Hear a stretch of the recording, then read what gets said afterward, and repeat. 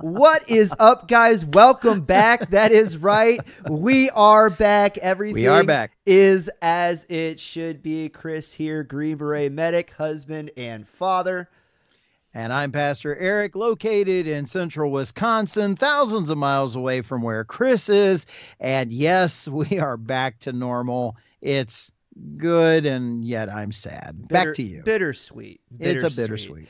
Anyway, coming at you guys this week, I'm going to be telling you why I think people do bad things and it's because they want they all want three things. This is my personal theory. We're going to cover uh, the headlines some that we missed while we were while we were out over those two weeks and some that are more recent oh but being together we talked about them we did oh, yeah. we Oh, did. yeah. but we're gonna we're gonna cover the headlines and who's who and what's new and then we're going to wrap up uh moving into our bible's biggest bungaloids say that five times fast this week Nope. we are going to do peter's Peter. redemption story and i'm really excited are you ready I am ready. all right here we go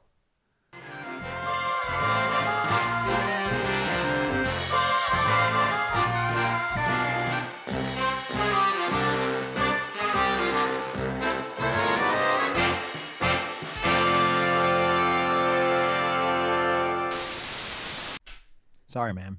four The frogs, I'm, I'm sorry. oh Working them out. bud why Sir. You remember that? All right, guys, we're going to go ahead and jump into the big idea. And for the big idea this week, I wanted to give you one of my personal theories. This is a Chris Hambrock original. You're not going to find this anywhere else, but I will say that I do believe that it is well rooted in much bigger thinkers and philosophizers than myself is where I've got right. where I've gotten this theory, but I want to tell you guys about why I think people do bad things, and it's actually pretty simple when when you wrap it all up. This goes back to Please write a book and make some money off of this, okay? Because if you've got it figured out. I do, I do have it Okay, figured out. I all right. promise. I, Hit me well, see, I know why shot. they do the bad things. You know, it's the it's the okay, what to, what then? You know, it's like the what, the so what, and the then what. You know. But Mhm. anyway, Mm. so this goes back to a conversation that I was having with a friend of mine, and he was like, he was trying to tell me about how he envisions, you know, the the movers and the shakers, the power brokers of the world, like to sit in their little uh evil I don't Ivory Towers. Sure, Ivory Towers. around their circle tables and they're spinning their little yarns and they're like, okay, next we are going to blah blah blah. And I was like, you know, I don't, I really don't think the world works that way. And he goes, dude, No. I'm telling Oh, you, it does because he's like, how do the politicians and the news media and the and the billionaires and like all these people with power and affluence, how come they're always pushing the same direction? How come they Mhm. all seem to be moving in in one direction, right? And I was like, well, I, I think it's a lot simpler than that, really. And I really do think that it all goes back to the fact that people all want three things. And those three things that I believe that people will do anything for, they'll kill for them, right? Wealth, power, and prestige.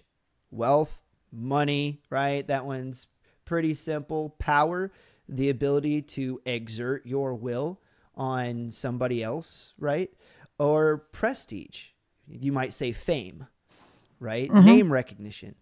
But it's Mhm. like when you wrap up those three things, and and to some people, to varying degrees, some people care more about the money and the power than they do the prestige. I'm cool with being behind behind the curtain. Some people want the name recognition, uh, and they want the the money. Uh, but then they're too airheaded to know how to do anything with it and exert any power, right? See any modern pop star, right? But but it, it's still some combination of those three things. That's my personal theory. What do you think? Uh, I think uh, I think you're onto something, but there I do believe that there's there's a more intelligent, just as I believe that there is a um, a master intelligence in creation. I do believe that there's a master intelligence in in evil uh, that helps to coerce all those things. So it takes the nature of man. You pulled out the big three. Uh, and so therefore it's not hard for a master uh, manipulator to pull on the strings of those three things because it's the I want, I want, I want, and and be able to um, play a symphony with people and and make it work together. Uh, there may be little things. So easy. So ha ha ha. I know yes. you and I. You know what that Yes. reference is. Yes. um, and uh, and that's that's exactly right. And the other thing is, is uh, there are times that we go, but this thing out over here doesn't, you know, this is evil and doesn't seem to play around with this. But it's a, it- it's amazing how the how they're how they're coercive together um, and and how things like that come together. Yes, I do believe that there is a master evil uh, that coordinates all those things, and I truly believe, uh, and I think this is what you were alluding to. So I don't want to put words in your mouth, but you tell me.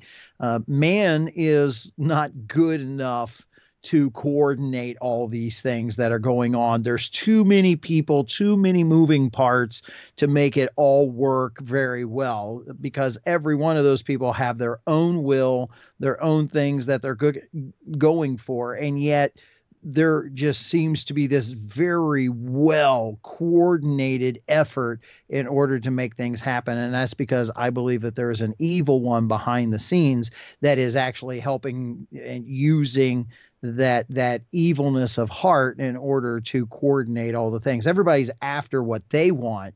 He is just using all of that to get to his end.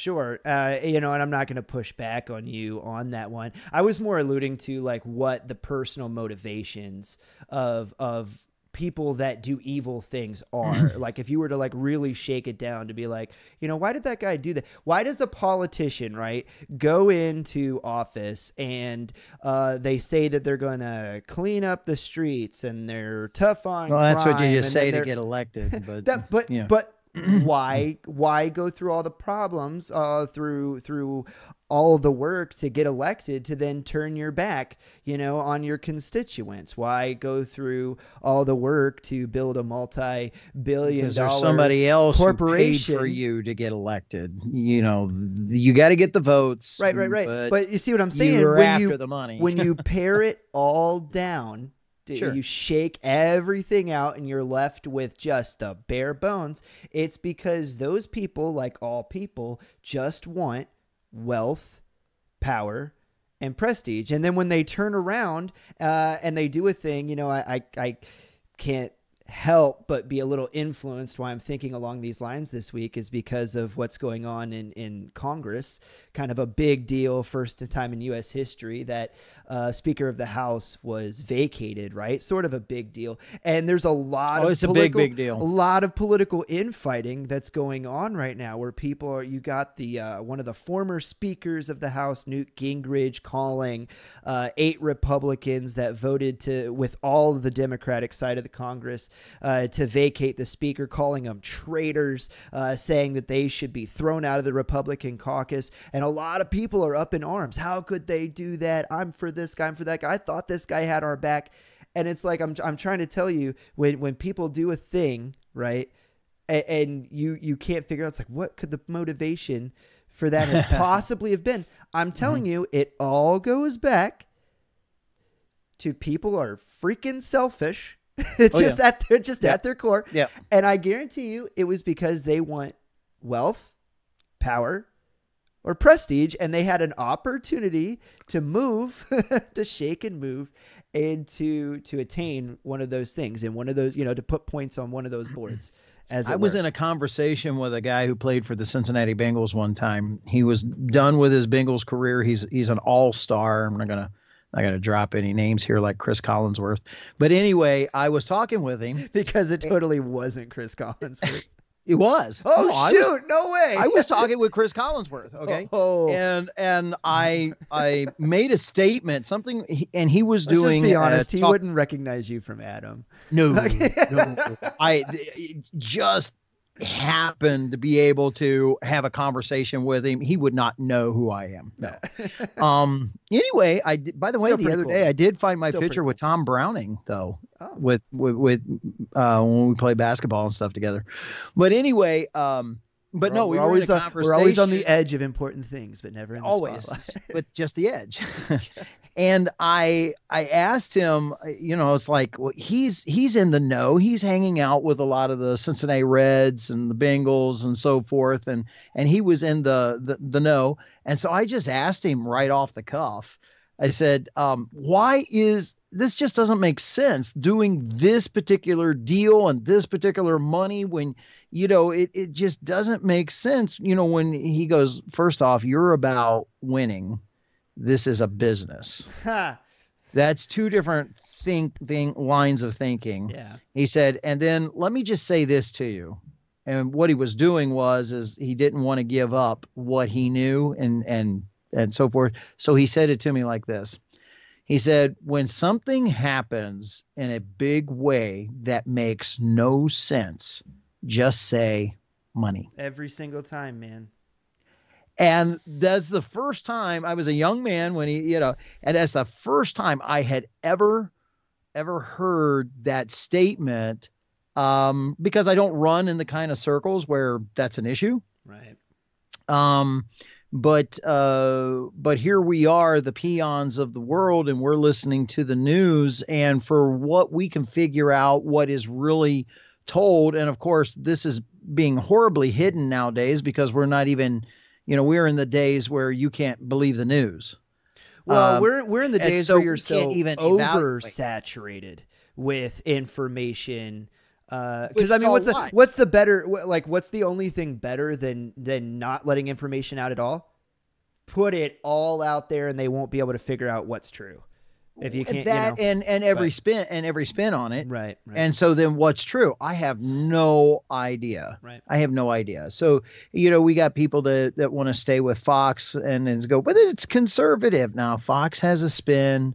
Everybody has a spin. Yeah. And because we're so saturated, what is the truth? I have no idea. But in our current in our current culture, this is what and, and Chris Collins, boy, he said that to me my goodness, I was in my 20s. And uh, so here I am, you know, at, at the ripe age I am right now. So what are we talking 30 some years ago? And he's and he said that to me 30 some years ago, back when when we were at least getting facts in the news and we weren't getting opinions for news. And he said, if something happens and you it doesn't make sense to you, just say money. It doesn't pass the sniff test. Eh, yeah, and and, and uh, look at where we're at now. oh yeah, You Oh, know, man. um, but and and I think now that that doesn't necessarily hold water. And I'll tell you why. I'll, I'll give you a quick one. Can I can I use an example here that's just happening? Yeah, full so send. the the wall is Oh, starting. oh, be hold the phone. Hold, hold your no. Hold you. Hold that. I thought. can't. You hold can't. that thought. We're gonna get to it, but we'll get to that. Okay, well, let Over me in just the say, who's let me just what's new. finish this. I'm not going to talk about the rest of it, but Okay. I will say this: I don't think it's about money, so I have no idea about that one. I I have no idea I have a why have, I why have that A, policy has turned. I have a hot take on it for you. But hey, so that's what we We'll got for you for that. guys. That's what we got for you guys this week on the big idea: wealth, power, prestige. What is it that every person wants? What's it you know that they're willing to to steal, to kill for? I mean, that's what I think that it is. If you guys have a different Wow. theory, you let me know down below in the comments. And I hope you guys we- are sticking around for the who's who and what's new. What's up? Can we b- bring that back in in Oh. that context? You disappeared.